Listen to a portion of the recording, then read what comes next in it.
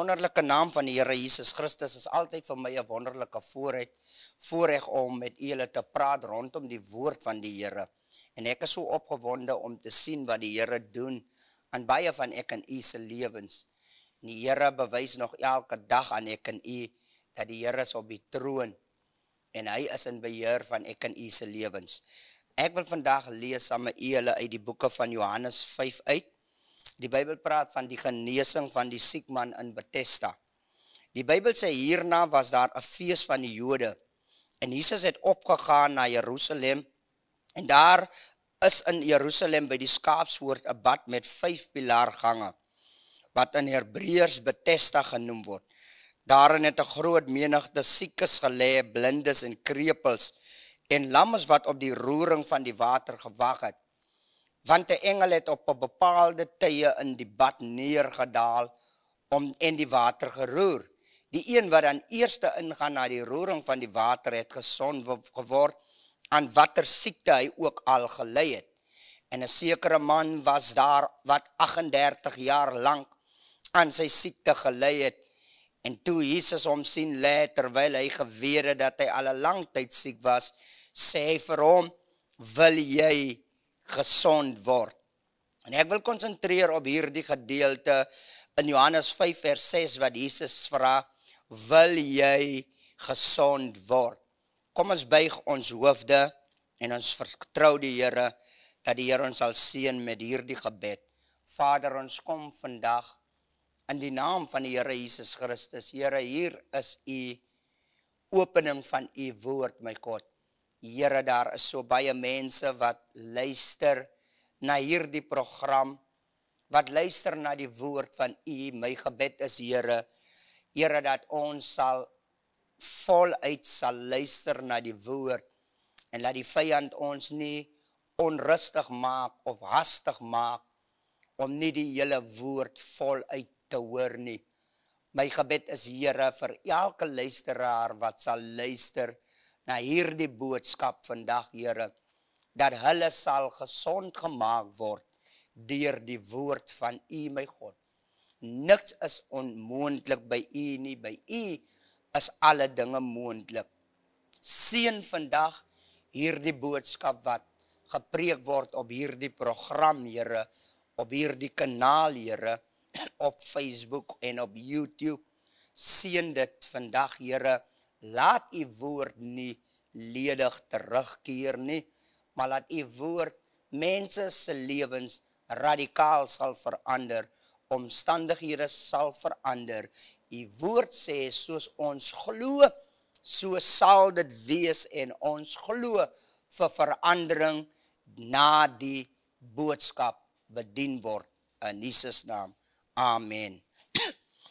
Vriende en familie, ek wil vandag klem le op hierdie gedeelte in vers 6 wat Jesus hierdie man wat vir 38 jaar by die bad van Bethesda le, het Jesus hierdie man gesien en hy vraag hierdie man een vraag en hy vraag, wil jy gezond word?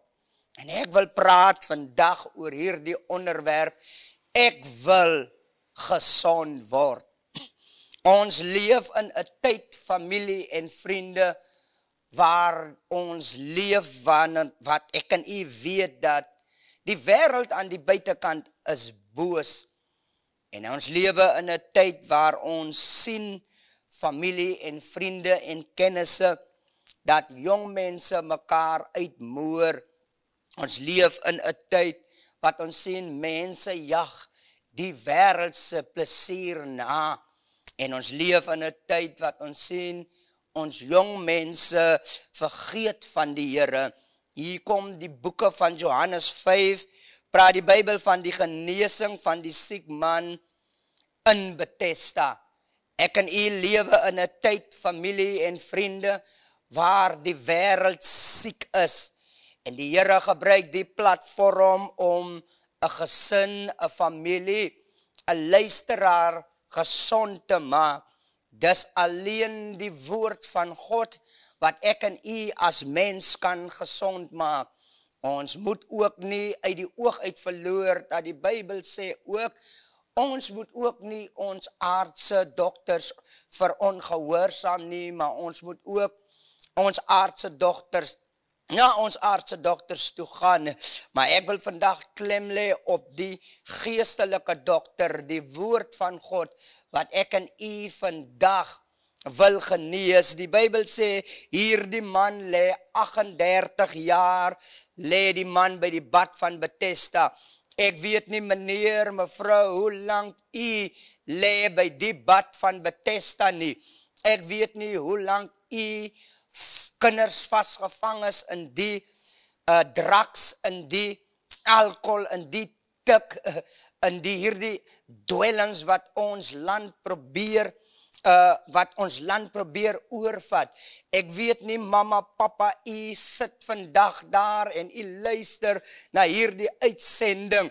En ek kom vandag om een moeder, een pa te sê, een jongman te sê, Die Heere wil jou gezond maak. Die Heere het al reeds 2000 jaar aan die kruis bewys, toe hy aan die kruis gesterf het, vir ek en u, het hy bewys dat so lief het hy ek en u gehad. Terwyl u vandag luister na hierdie uitsending, luister na die woord, weet dit vandag, Die Heere wil jou gezond maak. Moenie een verskoning het vandag as u in een omstandighede is en u is vastgevang in sekere omstandighede van jou leven. Gebruik die Heere vandag die woord van die Heere en hy sê aan elke familielid, elke persoon wat luister na die uitsending en God vraag een vraag, wil jy gezond word? En ek kom vandag om elke Suid-Afrikaner te sê, aanvaar die woord van God, van elke belofte wat opgeteken is, in die woord van God is ek en u sinne. Maak nie saak hoe lang jy dier hierdie omstandighede gaan nie. God kom vandag dier sy woord en hy vraag, wil jy gezond word? En ek wil hee, jy moet vandag die boldness inneem en sê, Heere, ek wil gezond word. Ek wil hee, my hevelik moet gezond word. Ek wil hee, die skole moet gezond word. Ek wil hee, mense in die gevangenis moet gezond word. Mense in hospitale moet gezond word. My bierman moet gezond word. My verskollegas moet gezond word. Ons moet verstaan dat die bybel sê, soos ons geloof, so sal dit wees. En ons geloof vandag, ek het net paar mense nodig vandag, om my te jaal, help om te sê, ek wil gezond word, net daar waar jy is, in jou kar, in jou huis, in jou sitkamer, miskien uh, in jou slaapkamer, sê, ek wil gezond word, Ek wil gezond word, want jou gedagtes word beïnvloed dier jou gevoelens soos jy dink, so sal dit wees, waar twee of drie op aarde oor een saak saamstem, so sal dit wees. Ek daag een Suid-Afrikaner uit, een luisteraar uit, om te sê, ek wil gezond word. Baie mense sal sê, maar die Heer het ons al reeds gezond gemaakt. Die Heer het al reeds ook aan die kruis gesterf vir ons. So geneesing is ons portion, herleving is ons portion, uh, redding is ons portion, maar die Heer wil hee, jy moet antwoorde. God gebruik vandag die platform, die kanaal, en hy vraag die vraag aan elke luisteraar, wat ingeskakel is op die program, en hy vraag, wil jy gezond word. U kan net daar waar u is, kan u uitreik na die Heere toe. Hy vraag, wil jy gezond word? Misschien sit u daar vandag en u luister en u is bekommerd en u vraag u self af, wanneer kom die Heere dan vir my dier?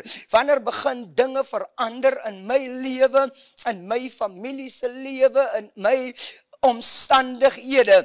Hier kom die woord van die Heere vandag in Johannes 5 en hy vraag Suid-Afrika Afrikaner, wil jy gezond word?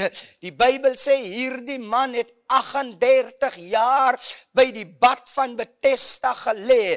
Die Bijbel sê nie dat hierdie man is van sy geboorte af verlam nie. Misschien het ek en u seer gekry op die pad. En as gevolg van die seer wat ons gekry het op die pad, het ek en u verlam gemaakt op die pad. Maar die Heere gebruik vandag sy woord en hy praat met sy woord, dier sy woord, dier hier die program na ek en u toe en hy vraag, wil jy gezond word? En ek kom vandag en ek daag weer eens, ons daag as Suid-Afrikaner uit, die Heere vraag, wil jy gezond word, soos ek voorheen gesê het, gaan ek het weer herhaal, baie mense sê al reeds, die Heere het vir ons gesterf, hy het ons gezond gemaakt, maar sal die Heere dan een vraag vraag, as die Heere weet, hy het ons gezond gemaakt, ons moet verstaan, dat die Bijbel sê, God is een jaloerse God en die Heere kan alleen vir ek en u doen wat ons vir hom vraag dat hy vir ek en u moet doen. Daarom kom die geest van die Heere vandag en hy vraag, wil jy gezond raak. Die Bijbel sê dat Jesus het hier die man sy leven dopgehou. Die Bijbel sê, hulle het die man gelos, uh, uit 38 jaar le die man by die bad van Bethesda. Ek weet nie hoe lang jy dan le by jou bad van Bethesda nie, maar die woord van die Heere kom vandag en hy vraag, wil jy gezond word? Hier die man het een verskoning gehad, die Heere wil wou nie verskonings hoor nie. Hy het een vraag gevra en hy het een directe antwoord verwag op die vraag wat hy gevraad het. Baie maal wanneer ons een vraag vraag van mekaar, verwag ons dat ons mekaar moet antwoord. Baie maal lees ons een vraag in die examen lokaal en verwag ons, dan wil ons die vraag beantwoord door die beste van ons vermoe. Die Heere vraag nie vir hier die verlamde man, hoe lang le jy hier nie? Die Heere vraag nie die verlamde man by hier die bad nie, wanneer wil jy hee, ek moet jou gezond maak nie? Die Heere kom, gees van die Heere kom vandag en hy vraag dier die uitsending, Jong dame, jong man, wil jy gezond word? Misschien is jou vraag, jou antwoord vandag aan die Heere, ek is nog te jong om nou al so besluit te maak. Ek het vir u nies wat sê, u is nog te jong om sulke te besluite te maak. Ons moet verstaan, die Bijbel sê, die is kinders van die, is net kinders wat kom in die koninkryk van die Heere. Een van sy disciples vraag, Heere, wie is hulle wat in die koninkryk van God gaan? En die Heere roep een kynkie nabij en hy sê, as jy nie soos een kynkie word nie, sal jy nooit in die koninkryk van God kom nie. Die Heere vraag nie, jong dame, jong manne, wanneer wil jy hee, ek moet jou gezond maak nie, of hoekom wil jy eers jou leven lewe, voordat jy een verhouding met die Heere aantnoop. Die Heere vraag jou, jong dame, jong man, wil jy gezond word? Wil jy gezond word van draks af? Wil jy gezond word van alcoholmisbruik af? Wil jy gezond word van prostitutie af? Wil jy gezond word van sonde af? Wil jy gezond word van jou verlede af? Wil jy gezond word? Kom ons doen nie wat hier die man gedoen het by die bad van Bethesda nie. Die man het gesê, Heere, elke keer wanneer ek in wil spring, dan spring daar iemand anders voor my in. Die Heere vraag nie, hoeveel mense spring voor jou in, voordat jy kan gezond word nie. Die Heere vraag, wil jy gezond word, en dis wat ek vandag vraag aan u, wil u gezond word, hier die man het by sy geneesing gelee, hy by sy dierbrak gelee, hy by sy verandering van sy leven gelee, maar hier die man het een verskoning gehad, Niemand is bereid om my in die bad in te sit nie. Van hierdie man was verlam. Die Here het die man se omstandighede geken. God was bewus met sy toestand. Net soos God bewus is met ek en u se omstandighede en met ek en u se toestande bring hy reeds die oplossing na die probleem toe. Die probleem is ek en u is geestelik siek, fisies siek, maar die woord van die Here kom met die oplossing na die probleem toe en hy spreek tot die probleme en hy vra wil jy gesond word? En hy sê daar is niemand Here wat my in hierdie wat kan insit nie in elke tyd wanneer ek in wil gaan dan is daar iemand anders wat voor my inspring wat baie snaaks is, die man le 38 jaar by hierdie bad, en elke tyd sê die bybel op een bepaalde tyd kom die engel, en hy roer die bad, so op een bepaalde tyd het die mense geweed, wanneer die engel kom om die bad te roer, dan het hulle seker gemaakt, hulle mis nie die geleentheid tot een beter lewe nie. Hulle mis nie die geleentheid om gezond te word nie. Ek en u sit by die huis van die Heere omdat ons seer gekryd het en ons beweeg uit die huis van die Heere uit en ek en u sit by die huis en ons wil nie gaan na die huis van die Here toe nie, maar in die huis van die Here is dit waar ons genesing lê, waar ons gesondheid lê. En elke keer net wanneer die man wil inspring, spring iemand anders voor. Hierdie man wat vir my so treffend is, wat vir my so ironies is, is dat hierdie man lê 38 jaar by die bad. Jy, ek weet nie hoe lang jy in die omstandighede vir jouself verkeer nie, hoe lang jy vastgevang is in die omstandighede nie. Maar wat ironies is, wanneer die bad nie geroer word nie, geliefdes, dan sê dit vir my, dat daar is niemand by die bad nie, maar hier die man bly dan by die bad. Nou wanneer die engel kom, moet die man moes eerste is, die probleem van die man wat geled het by die bad is, hy wou nie genees, hy wou nie dat God hom gezond gemaakt het nie van, hy het te gemakkelijk geraak op sy omstandighede, hy het sy omstandighede aanvaard, ek en hy is nie bestem om, ge, om gebuk te gaan dier die lewe nie. Ek en u is nie bestem om dood te gaan sonder die Heere nie. Ek en u is nie bestem om geestelik dood te gaan nie. Ek en u is nie bestem om een dag jaal toe te gaan nie. Ek en u is nie bestem om hier die kanker, die suiker, die hooremetiek in ons bloedlijn te het nie. Die Heere vraag, wil ek gezond word? Die Heere vraag vandag, wil jy gezond word? Nou dat hier die uitsending daar is, kan jy uitreik na die Heere toe en sê, ek wil gezond word. Meneer en mevrou, reik uit vandag, gee jou probleem kind, gee jou probleem hevelik, jou probleme in jou familie, waar waar een familie toos is, die geest van die Heere vraag, wil jy gezond word, en jy het nodig om te sê, ek wil gezond word, moet nie toelaat, laat jou omstandighede vir jou langer lieg nie. Jy kan in die bad van Bethesda spring. Ek maak dit los oor elke Suid-Afrikaner wat luister na die uitsending oorals in Suid-Afrika, oor die vier hoeke van ons land, maak ek een bad van Bethesda los en die geest van die Heere sal jou self in die bad van Bethesda insit so wanneer die engel kom en hy roer die bad soos die woord wat uitgaan. Dis die woord wat nou uitgaan wat besig is om die bad te roer en op grond van hoe jy reageer op die woord wat uitgaan gaan maak dat jy gesond word.